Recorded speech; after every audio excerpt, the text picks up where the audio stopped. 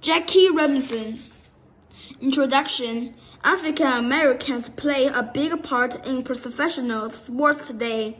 For many years, however, black athletes weren't allowed to play with white athletes.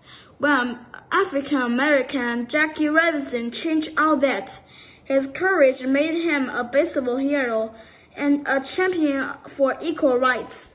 The early years, Jack Roosevelt Robinson was born into a poor Georgia family in 1919. In college, he was a star on his school's football, track, basketball, and baseball teams. His family had little money. However, he left college in 1941 to help support his family and did not finish school, taking a stand. In December 1941, the United States entered a war like many young men at the time. Robinson was called up to serve in the U.S. Army. One day, he and a group of soldiers got on an army bus, but the bus was segregated. One soldier sat in the front and the black soldier back in the back. Yet Robinson knew he was as good a soldier as the white man. He would not move to the back. Robinson was arrested, but many people defended him. He was a good soldier who had only stood up for what was right. In the end, he was found not guilty. You are hired. After his time in the army, Robinson, Robinson played baseball in 1945. However, baseball was segregated too. White and black athletes played in separated leagues. Robinson felt that baseball leagues should not be separated based on race. So did the Branch Rick, Rickey, the man who ran the Brooklyn Dodgers. Rickey wanted the Dodgers to the first white team to include a black players. Rickey knew that this player would not only have to be a great athlete, he would also have to face abuse because of his race. Rickey hired Robinson. He had one condition, though. Robinson could not respond to any of the abuse. Instead, Robinson would fight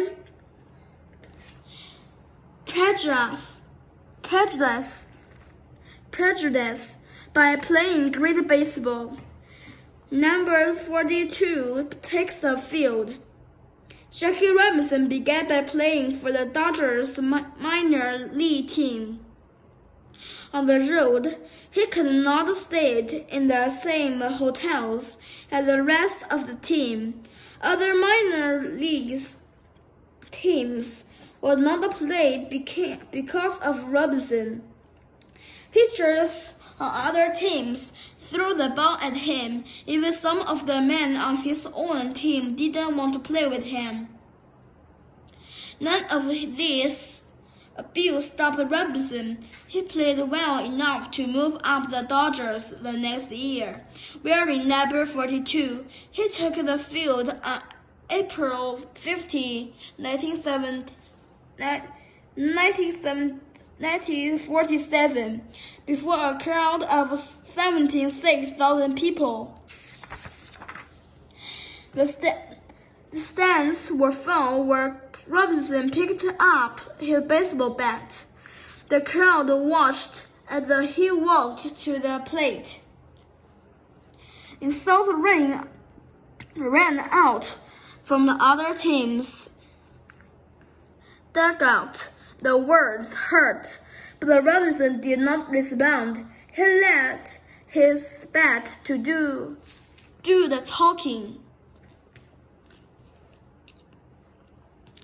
The Dodgers earned a victory that day, not alone over Boston, but also over prejudice.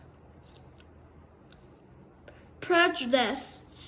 Robinson forced many people who thought less of American African American to think again. Robinson wanted to on to have a great career. In 1949, he was voted most valuable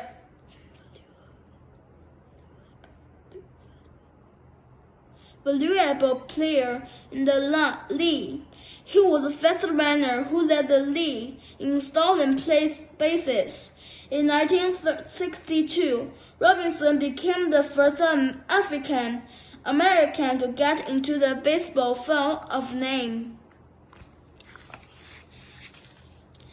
Beyond baseball, after Robinson, Robinson stopped playing baseball in 1957. He went into business. He became the first black vice president of a U.S. national company. He also became a civil rights leader. He continued to work for equal rights for all people until his death in 1972. Today, in the United States, more people of color play in the world of support, sports than ever before. We all have number 42 to thank for that.